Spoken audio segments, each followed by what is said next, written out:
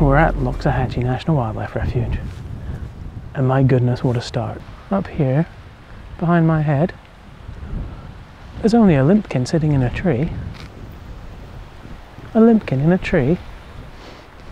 And tell the good people what we saw flying over our heads when we started here at the marsh trail. Swallowtail kite? Swallowtail kite. No, not just one. Three. Three swallowtail kites. Wonderful. Right, we're going to go find some birds. Two in the bush is worth two on the video. Unbelievable. What a day. It's like a, a, a bandit version of a mockingbird. Mockingbird's all jokes and games. This guy, all business. Fantastic. A little, little bit of tail pump there as it balances in the wind. It just came over onto the path next to me, skewered the ground. I don't know if it got any food. I don't see anything in its mouth. But it skewered the ground and then went back to this perch. Mental.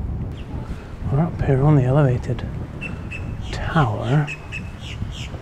And, uh, well, it gives you a much better sense of the area. It's truly, truly very expansive. Um, come back this way. I'm going to try not to trip over as I go backwards. Although I'm sure you'd enjoy that, wouldn't you? There's Mandy down there. Yep, she's not waving, she's busy looking at birds still.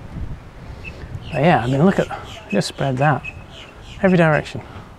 For as, as far as you can see, is this nature reserve.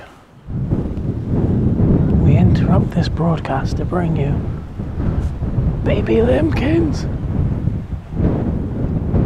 I don't know if you're going to be able to hear the little high pitched squeaking that's going on around us. It's young limpkins asking for food from the parents. The mom's like trying to show it how to get the snail itself. So what we have is teaching in action. Absolutely wonderful. Look at I mean look at look at the cuteness. Look at it.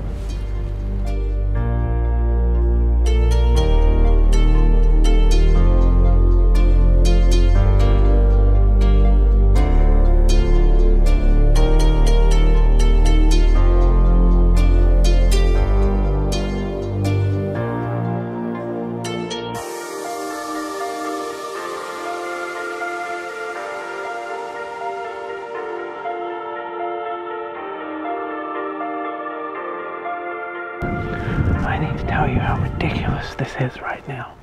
Behind me here, Mandy has in her screen, you can just about make it out. She has the snail kite. That's right, it sat down for us. It's sitting down right over there. Over there, that way, there's a limpkin. Back that way, there's a purple gallinule. Over there, there's a loggerhead shrike. This little area has just gone kablooey with stuff. It's absolutely amazing.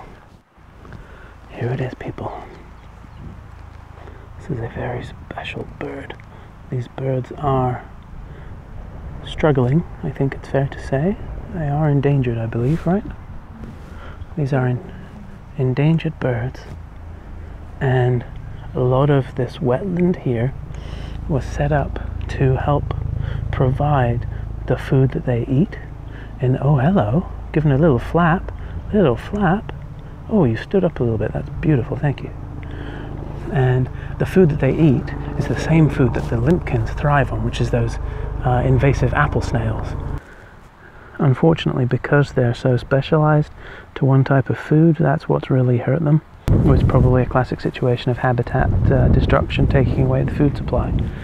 Thankfully, there's places like this that are creating a good environment for the snails, which therefore creates a good environment for the species that feed on the snails. Hence why the limpkins flourish here and why we have snail kites here.